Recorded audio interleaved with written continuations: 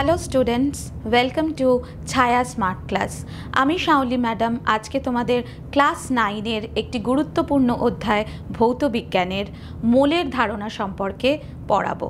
আমাদের আজকের টপিক থাকবে অ্যাভোগ্যাড্রো নাম্বার যেটা কিন্তু ভীষণ গুরুত্বপূর্ণ একটা অধ্যায়। তোমরা যখন এই স্মার্ট ক্লাসটা দেখবে, তোমাদের সঙ্গে অবশ্যই রাখবে দুটো বই। একটা হচ্ছে ছায়া, ভৌত বিজ্ঞান পরিবেশ এবং ছায়া ভৌত বিজ্ঞান পরিবেশ শিক্ষক। আমি আশা করি তোমরা যদি এই দুটো বই ফলো করো, তার সাথে স্মার্ট ক্লাসটা দেখো, নিশ্চয়ই তোমরা তোমাদের কনসেপশন একদম ক্লিয়ার করতে পারবে। চলো আজকে তাহলে শুরু করা যাক আজকের টপিক অ্যাভোগ্যাড্রো নাম্বার দিয়ে। অ্যাভোগ্যাড্রো নাম্বার বলতে কি বুঝি আমরা ঠিক? অ্যাভোগ্যাড্রো সংখ্যা। যে কোনো মৌলিক বা যৌগিক, সেটা কঠিন, তরল বা গ্যাসীয়, যা কিছু হতে পারে। পদার্থের এক গ্রাম অণুতে উপস্থিত অণুর সংখ্যাকে অ্যাভোগ্যাড্রো নাম্বার বলে। এখন এই অ্যাভোগ্যাড্রো নাম্বারকে আমরা প্রকাশ করি ক্যাপিটাল এন অথবা, দেখো আমি লিখেছি বোর্ডে, ক্যাপিটাল এনের নিচে একটা এও লেখা আছে। এইভাবেও কিন্তু প্রকাশ করা যায়। এবং এর মান হচ্ছে six point zero double two into ten to the power twenty three আর এই মানটা আবিষ্কার করেছেন বিজ্ঞানী মিলিকান।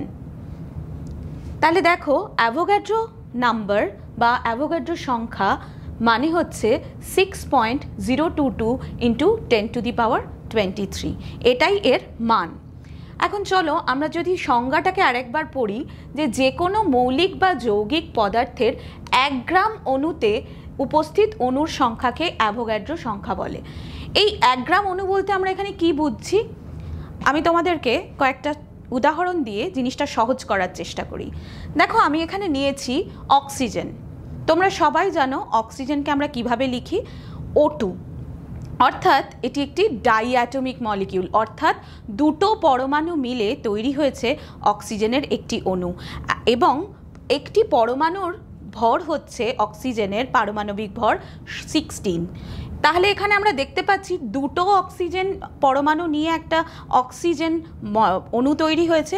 অর্থাৎ অক্সিজেনের আণবিক ভর হবে thirty two, sixteen plus sixteen, thirty two. তাহলে আমরা বলতে পারি যে থার্টি টু গ্রাম অক্সিজেনে অক্সিজেন অণুর সংখ্যা হচ্ছে অ্যাভোগ্যাড্রো নাম্বার। তাহলে আমরা সংজ্ঞাটাকে এখন মেলাতে পাচ্ছি যে এক গ্রাম অণু, তার মধ্যে থাকছে হচ্ছে অ্যাভোগ্যাড্রো সংখ্যক অণু তার মানে আমার বত্রিশ গ্রাম অক্সিজেনে রয়েছে কতগুলো অণু? না, অ্যাভোগ্যাড্রো সংখ্যক অণু। সেরকমই আমরা যে আরেকটা মৌল নিতে পারি, যেমন দেখো মৌলিক পদার্থ নাইট্রোজেন আমি নিয়েছি। নাইট্রোজেনের ক্ষেত্রেও তাই, দুটো পরমাণু মিলে নাইট্রোজেনের একটা অণু তৈরি হয়েছে। এখানে নাইট্রোজেনের একটা পরমাণুর ভর চোদ্দ। আরেকটারও ভর হচ্ছে চোদ্দ। তাহলে কি আসছে আমার? টোয়েন্টি এইট তার মানে এই আঠাশ গ্রাম নাইট্রোজেনে নাইট্রোজেন অণুর সংখ্যা থাকবে অ্যাভোগ্যাড্রো নাম্বার। এবারে আমরা মৌলিক পদার্থ নিয়ে তো আলোচনা করলাম, অক্সিজেন আর নাইট্রোজেন। চলো দেখা যাক যৌগিক পদার্থের ক্ষেত্রে কি হয়। যৌগিক পদার্থ এইচ টুও ভীষণ কমন জল, তোমরা সবাই জানো। এই যে আমি নিয়েছি এইচ টুও এর আণবিক ভর আমাকে বের করতে হবে। তাহলে কি করে বের করব? কেননা আমি জানি এইচ টুওর মধ্যে দুটো হাইড্রোজেন আর একটা অক্সিজেন রয়েছে। দুটো হাইড্রোজেন মানে তোমরা জানো, পারমাণবিক ভর হাইড্রোজেনের এক। তাহলে টু ইন্টু ওয়ান লিখেছি এবং দেখো, অক্সিজেনের পারমাণবিক ভর হচ্ছে ষোলো। তাহলে আমি যদি ষোলোর সাথে two into one two plus sixteen করি, তাহলে আমার আঠেরো আসছে। অর্থাৎ এইটিন গ্রাম। তার মানে এইচ টুও বা জলের আণবিক ভর হচ্ছে এইটিন গ্রাম। তার মানে এই এইটিন গ্রাম জলে কতটা অণু থাকতে পারে? জলের অণু থাকবে, ঠিক ধরেছো তোমরা, অ্যাভোগ্যাড্রো সংখ্যক। এখন দেখো, এই যে অ্যাভোগ্যাড্রো সংখ্যক অণু রয়েছে আঠেরো গ্রাম জলে, সেটা আমরা বুঝতে পারলাম। অর্থাৎ মৌলিক পদার্থের ক্ষেত্রে, যৌগিক পদার্থের ক্ষেত্রে আমাদের কিন্তু কনসেপ্টটা ক্লিয়ার হলো। এবার আমরা দেখব গ্যাসের আয়তন কি করে অ্যাভোগ্যাড্রো নাম্বার দিয়ে আমরা প্রকাশ করতে পারি। দেখো, তোমরা সবাই জানো যে এক গ্রাম অণু গ্যাসের আয়তন হচ্ছে যে কোনো গ্যাসের আয়তন, সেটা হচ্ছে বাইশ পয়েন্ট চার লিটার। আবার আমরা এটাও পড়লাম যে এক গ্রাম অণুর মধ্যে থাকে অ্যাভোগ্যাড্রো সংখ্যক অণু। অর্থাৎ তাহলে কি আমরা বলতে পারি যে স্ট্যান্ডার্ড টেম্পারেচার প্রেশারে মানে এসটিপিতে বাইশ পয়েন্ট চার লিটার গ্যাসে অণুর সংখ্যা হবে অ্যাভোগ্যাড্রো সংখ্যা। একদমই তাই। তার মানে আমার বাইশ পয়েন্ট চার লিটার এসটিপিতে যদি আমি কোনো গ্যাসকে রাখি, তাহলে ওই গ্যাসের মধ্যে কতগুলো অণু থাকবে? ওই গ্যাসের মধ্যে অণু থাকবে হচ্ছে অ্যাভোগ্যাড্রো সংখ্যক। সর্বাধুনিক মত হলো কার্বন টুয়েলভ আইসোটোপকে নিয়ে, এটাকে স্ট্যান্ডার্ড ধরা হয়েছে। কার্বন টুয়েলভ আইসোটোপের বারো গ্রামে কার্বন পরমাণু থাকে যতগুলি, সেই সংখ্যাটাই হচ্ছে অ্যাভোগ্যাড্রো সংখ্যা। অর্থাৎ কার্বনের আমরা জানি, পারমাণবিক ভর হচ্ছে বারো। অর্থাৎ বারো গ্রাম কার্বন পরমাণুতে যতগুলো পরমাণু থাকবে, সেটাই হচ্ছে অ্যাভোগ্যাড্রো সংখ্যা। অর্থাৎ অ্যাভোগ্যাড্রো সংখ্যাকে আমরা কত রকমভাবে প্রকাশ করতে পারি? একবার চলো দেখে নিই। এক গ্রাম অণুতে অণুর সংখ্যা অ্যাভোগ্যাড্রো নাম্বার। এক গ্রাম পরমাণুতে পরমাণুর সংখ্যা অ্যাভোগার্য নাম্বার, অথবা আমরা বলতে পারি বাইশ পয়েন্ট চার লিটার গ্যাসে অনুর সংখ্যা অ্যাভোগ্যাড্রো নাম্বার। অর্থাৎ অ্যাভোগ্যাড্রো নাম্বার কী? সেটাকে কিন্তু আমরা অনেকভাবে বলতে পারি। এবং মাথায় রাখবে, যখন আমি এক গ্রাম অণু নিচ্ছি, তখন কিন্তু অণুর সংখ্যা লিখছি এখানে। যখন আমি এক গ্রাম পরমাণু বলছি, তখন কিন্তু পরমাণুর সংখ্যা বলছি। যখন আমি বাইশ পয়েন্ট চার লিটার গ্যাসে অণুর সংখ্যা কথা বলছি, তখনও কিন্তু আমি অ্যাভোগাড্রো নম্বরের কথাই বলছি। এবারে আমরা চলে আসব নেক্সট টপিক সেটা হচ্ছে অ্যাভোগাড্রো ধ্রুবক। অ্যাভোগাড্রো ধ্রুবক বলতে কি বুঝি?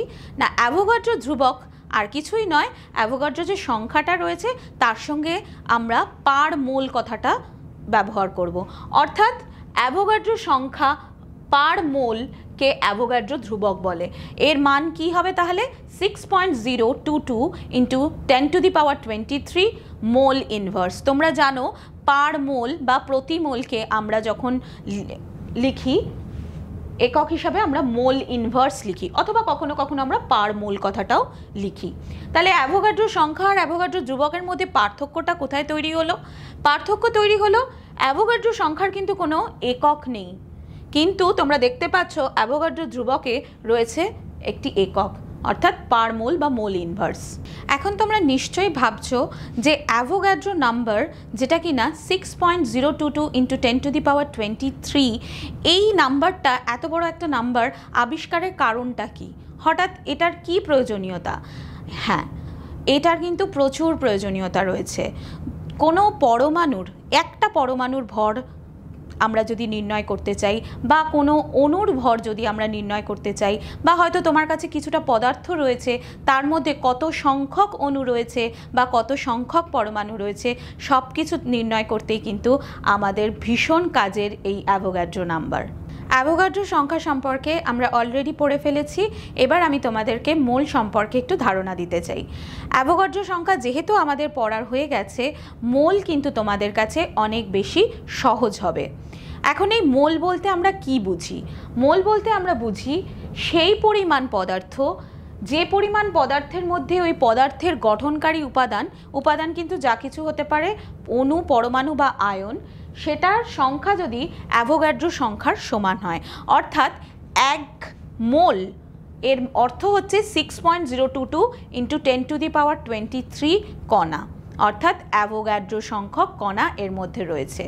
তোমরা নিশ্চয়ই সবাই নাম শুনেছ ইউপ্যাক এই ইউপ্যাক হচ্ছে কেমিস্ট্রির একটি সর্বোচ্চ সংস্থা, যা বলেছে আমাদেরকে যে মোলের কিন্তু মোল হচ্ছে একটি এসআই ইউনিট এখন তোমার কাছে যদি ওয়ান মোল হাইড্রোজেন পরমাণু থাকে, তাহলে তুমি কি বলতে পারবে?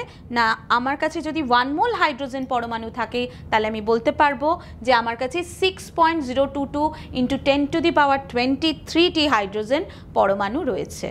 এবার চলে আসি সর্বাধুনিক যে সংজ্ঞাটি তোমরা বইতে সব সময় দেখতে পাবে। সেটা হচ্ছে কোনো পদার্থের যে পরিমাণে পদার্থটির গঠনকারী উপাদান কণার সংখ্যা সি টুয়েলভ আইসোটোপের zero point zero one two KG পরিমাণে উপস্থিত কার্বন পরমাণুর সংখ্যার সমান। সেই পরিমাণ পদার্থকে কিন্তু আমরা বলছি ওয়ান মোল। অর্থাৎ একটু ঘুরিয়ে পেঁচিয়ে বলা রয়েছে। মানে ধরো তোমার কাছে রয়েছে এখানে এক মোল পরমাণু, কার্বন সি টুয়েলভ আইসোটোপ নিয়েছি আমরা। ঠিক আছে? এবারে বলা হয়েছে zero point zero one two KG. Zero point zero one two KG, এটাকে যদি আমি গ্রামে প্রকাশ করি, কি আসবে? Twelve gram. এই টুয়েলভ গ্রামটা কি আসলে? এটা তো কার্বনের পারমাণবিক ভর। তাই নয় কি?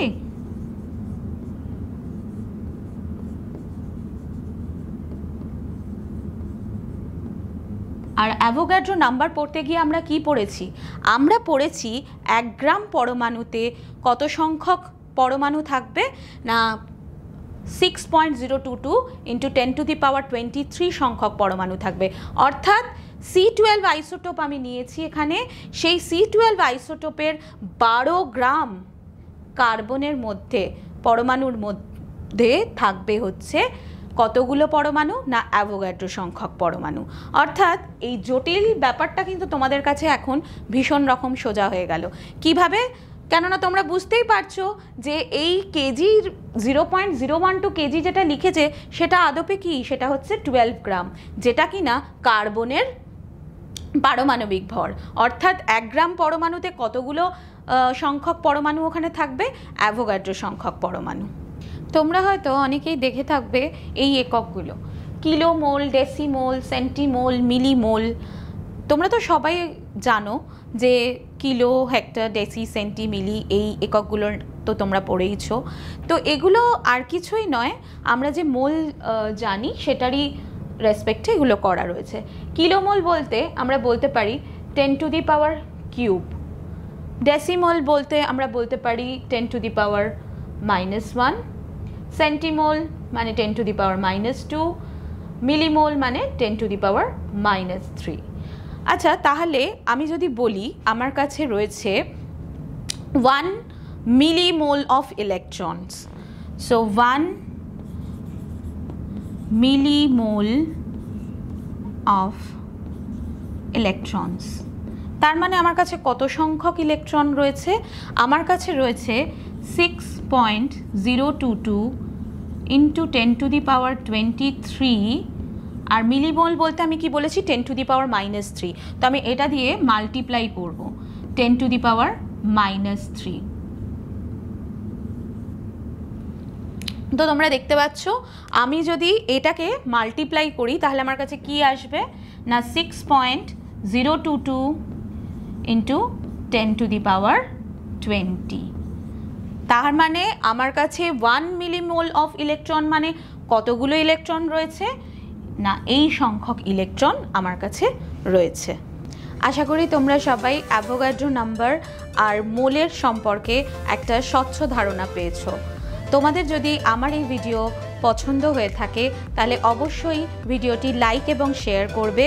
আর তোমরা যদি এরকম ভৌতবিজ্ঞানের আরও টপিক দেখতে চাও, তাহলে তোমরা কিন্তু ছায়া প্রকাশনীর ইউটিউব চ্যানেলটা সাবস্ক্রাইব করতে ভুলো না।